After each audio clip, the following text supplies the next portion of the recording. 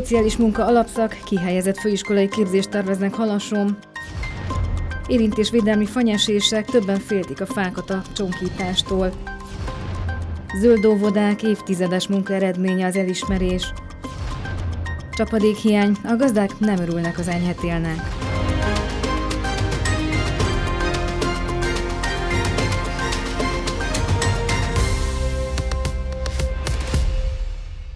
Köszöntöm Önöket, este 7 óra van, és természetesen ma is elhoztuk a legfrissebb információkat. Kihelyezett főiskolai képzést terveznek Halason. A jövő hónapban egy tájékoztatót tartanak a városban, amiről már megjelent a felhívás – a Szent Erzsébet Egészségügyi és Szociális Munka Főiskola Dunaszerdahelyi kihelyezett tagozata értesíti a kedves érdeklődőket, hogy a 2020-21-es tanévben szociális munka alapszakot kíván indítani Dunaszerdahelyen, Kiskunhalasi konzultációs helyjel, áll az intézmény közleményében. A főiskola február 21-én pénteken 17 órakor a Sétál utcai közösségek házában tájékoztatót tart a kiskunhalasi konzultációk lehetőségeiről. A témára későbbi adásainkban részletesebben is visszatérünk. A házuk előtt álló diófák védelmére kelt egy halasi házaspár, megakadályozták, hogy az érintésvédelmi nyesést végző szakemberek levágják a vezetékek közelében lévő ágakat. Véleményük szerint tarthatatlan, hogy mindenféle esztétikát nélkülözve történjenek ezek a nyesések, így majd inkább maguk bíznak meg egy szakembert ennek elvégzésével. A korábbi esztendőkben is sok vitás helyzetet szültek már az érintésvédelmi nyesések Kiskunhalason. Mint láthatják, ebben az utcában is már végeztek a szakemberek a nyeséssel. Nyeséssel, hát van, aki azt mondja, hogy ez nem is nyesés, hanem csonkolás. Amit eddig ki tudtunk deríteni, az pedig nem más, mint hogy a szakembereknek egyfajta érintésvédelmi távolságot kell megtartani a növényzet, illetve az elektromos kábelek között. És ugye vitás az is, hogy mi volt itt előbb, a fa vagy a villanyoszlop. Krivosia Robert és felesége az 53-as főút mellett lakik. A házuk előtt lévő két diófát nem ők ültették, így vették az ingatlant.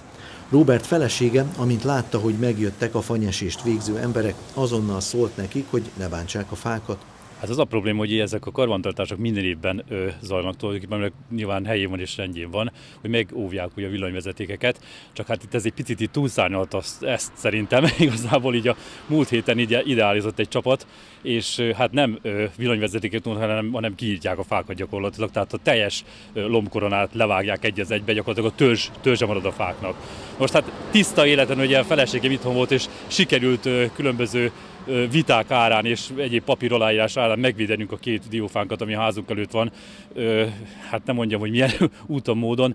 És hát volt egy érdekesség, ugye, mert rákezdett a feleség, hogy miért nem azokat az állakat vágják, amik tényleg akadályozzák, vagy esetleg belenőhetnek a villanyvezetékébe. Az volt szó szerint a válasz, hogy ehhez nincs eszközük, tehát nem érik el. Információink szerint az áramszolgáltató megbízásából egy vállalkozó végzi a fanyesést Kiskunhalason, a Városgazda ZRT annyiban érintett, hogy a nyesedéket és a gajakat a ZRT dolgozói szállítják el az út mellől. A korábbi esztendők tapasztalatai alapján elmondható, hogy a város területén sok helyen nem odaillő fák lettek ültetve. Ezek a magasra növő vagy nagy lombkoronával rendelkező növények veszélyeztetik az elektromos hálózatot, így egy jogszabály szerint időnként szükséges az érintésvédelmi nyesés. Krivosia Robert azt mondja, ez így rendben van, ám a kivitelezéssel már komoly aggájai vannak, ezért is akadályozták meg a két diófa csonkolását. Ami fákat itt gondozunk évente, locsolunk saját költségre és pucoljuk, takarítunk utána, szép diókrák, diófákról van szó, amik nyilván sok-sok-sok évesek. Tehát ezt így lenyesni, tehát ezt, hogyha levágják az lomkoráit, az meghal utána, tehát ez egyértelmű. Ezeket próbálta megvédeni. Hát utána gyakorlatilag egy napos utána járás után kiderült ugye, hogy nem a Városgazda ZRT jó csinálgatják ezeket, mint korábban addig nem is nagyon volt ezzel gond, hanem a Démász megbízásából egy külön erre felbérelt csapat végzi, teljes hozzá nem értéssel én szerintem, és teljesen oda nem illő dolgokat csinálnak. A panaszosok a történtekről bejelentést tettek az áramszolgáltatónak, ám hivatalos választ napok óta nem kaptak. A problémával kapcsolatban mi is kerestük a szolgáltatót, és jeleztük a történteket az önkormányzatnak is. A tervek szerint az ilyen esetekkel kapcsolatban bővebb felvilágosítást ad Bajcs Tamás környezetvédelmi ügyintéző. Az elmúlt 24 órában is próbálkoztak migráns csoportok átjutni a határon. A Bács megyei szakaszon a szolgálatot teljesítő rendőrök és honvédek 10 esetben összesen 38 külföldit tartóztattak fel. Az illegális migránsok tunéziai, marokkói, líbiai, iráni, szír, egyiptomi és afgán állampolgárnak vallották magukat. A csoportokat visszakísérték az ideiglenes biztonsági határzárhoz, hajnalban Röszkénél is be akart törni egy csoport az országba, erről belügyminiszteri sajtótájékoztatót tartottak, melyen elhangzott, hogy a határőrizeti rendszer megfelelően helytált. Bács megye kórházaiban még nincs látogatási tilalom influenzás megbetegedések miatt, de azért jó, ha már most mindenki figyel a higiéniás szabályok betartására. A kínai koronavírusról a fővárosban tartottak ma sajtótájékoztatót. Ezen elhangzott, hogy a rendszer felkészült az esetleges megbetegedésekre. Hazánkban utazási korlátozásokat egyelőre nem vezettek be, de tanácsokat fogalmaztak meg, miszerint fontos a gyakori kézmosás, a köhögés a tüsszentés etikai szabályainak betartása, utazáskor pedig megfontolandó a szájmaszk viselése is.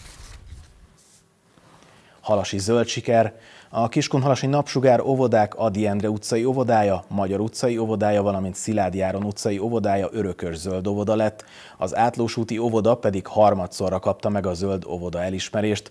Több mint egy évtizedes munka eredménye ez a díj, az óvónők több száz óvist neveltek ez idő alatt a környezettudatosabb életre. Itt a Sziládi óviban is kint vannak a falon a zöld óvoda elismerő oklevelek, Ebben az óvodában is évtizedes hagyománya van a környezettudatos nevelésnek, ennek egyik fő pillére az országos kezdeményezés. Ez egy magyar sajátosság.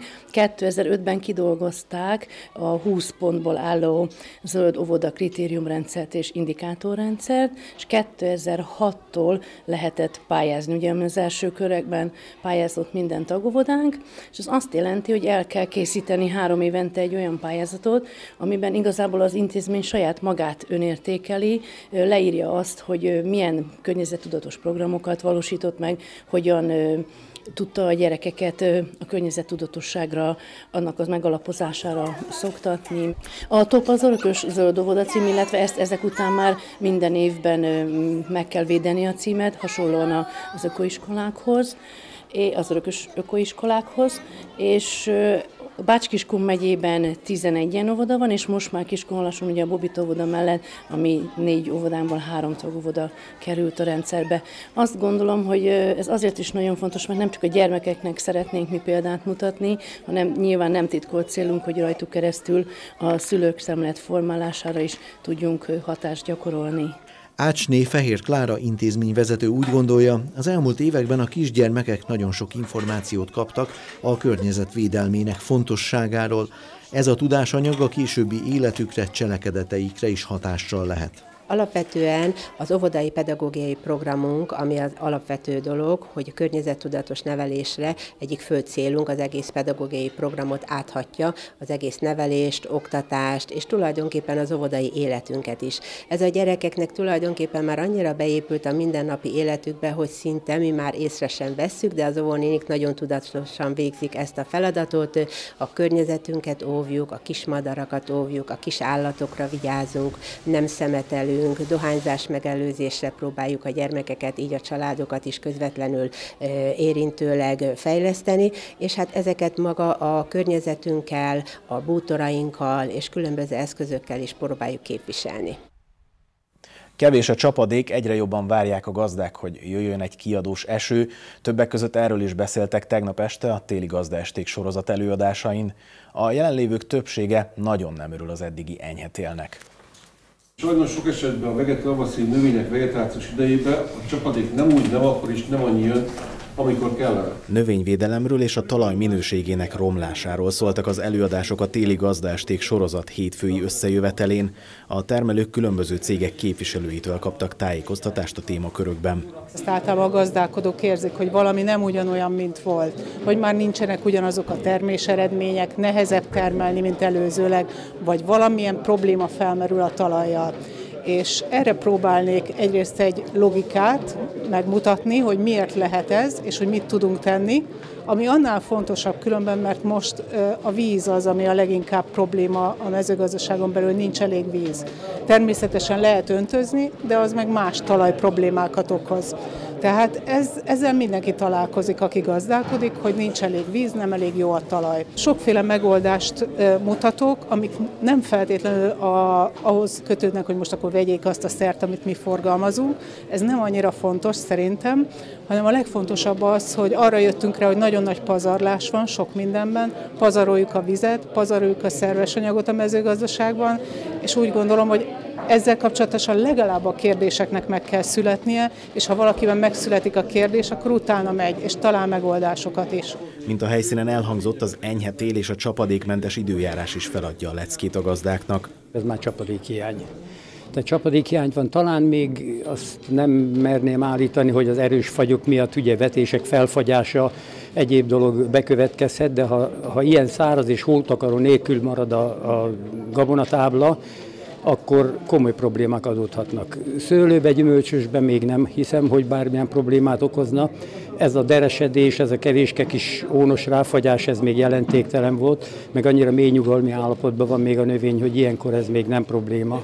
De hát reméljük, hogy megjön a várva vár csapadék, és akkor kompenzálja ezt a helyzetet. A megkérdezett termelők örülnek, hogy végre esik az eső, de azt mondják, ez még kevés, nagyon várják már a nagyobb mennyiségű csapadék megérkezését. Az öröm az, hogy nem fagytak ki a vetéseink, mert azért tehát minden olyan. Viszont a kártevőink nem nagyon pusztultak el. Annyira hideg nem volt, hogy a kártevők elpusztuljanak.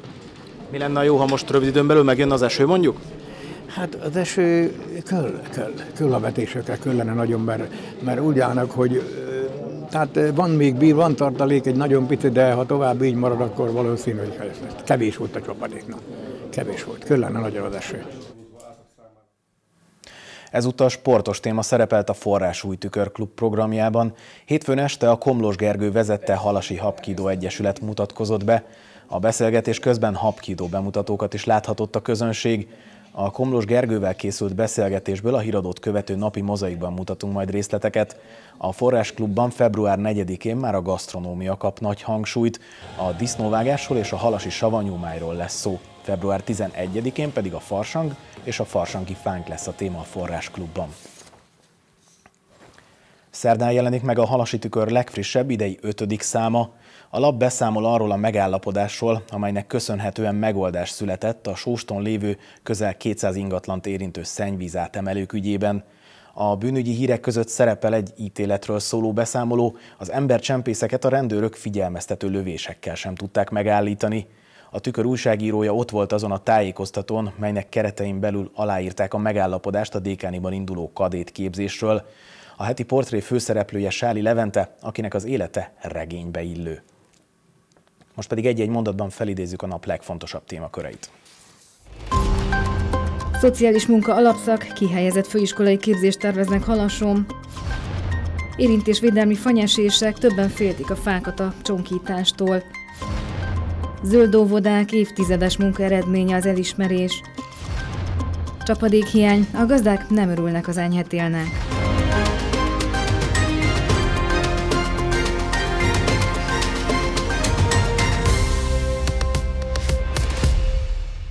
Kedves nézőink, ez volt keddesti hír összefoglalónk, érdemes lesz azonban továbbra is a halas televíziót választani. Most jön az időjárás előrejelzés, aztán pedig a napi mozaikot tekinthetik meg, mint már az imént is hallhatták, Komlós Gergővel láthatnak egy beszélgetést a Forrás Új Tükörklubban.